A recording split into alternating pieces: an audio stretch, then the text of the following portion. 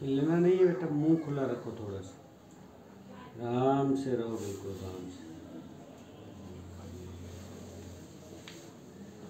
हिलना नहीं है।